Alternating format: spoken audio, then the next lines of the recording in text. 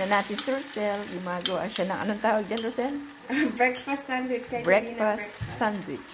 But ito is merienda sandwich na. Merienda time na po. Egg. Egg. And then, And then, pabayaan mo maluto ng konti lang. mm-hmm. Then you add the bread. Mm-hmm. Like so. And then we need some ham and cheese. Ham muna or cheese? Ay, mali, hindi pa. Ganyan lang muna. okay, okay. Hintayin mo maluto yung bottom But, of the bottom egg. the egg. And then, Lalim you have ano. flip. I-flip-flip mo yung, ah, hindi pala. Turn. Wala. And then, Then, pasok yung extra yung, ay, hindi. Yan, pasok yung mga, sa mga sides. Sobrang egg. yeah, sobrang egg. That. Ay, ayaw pumasok isa. Isa. Mm-hmm. Tapos,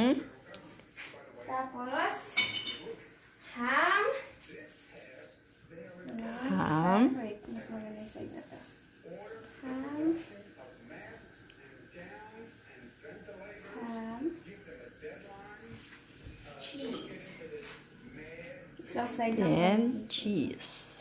Like so. And then, close, open, close the door. And flip. I clip, flip, clip, flip, flip Medyo hindi dito the bread. Then, just let it cook a bit more. Parang hindi pala ito itlog. Ito. Hindi, mamaya maluluto rin. Now, just wait. Just wait a bit. Oh.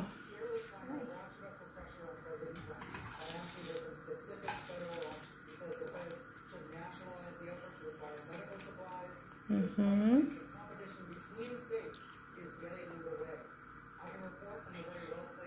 Why? Kasi hindi, parang... Bakit hindi? So, erase na to?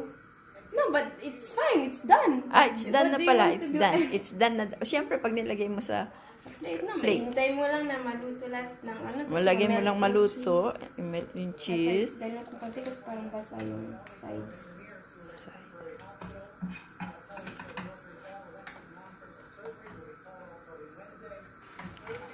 Baliktarin mo na.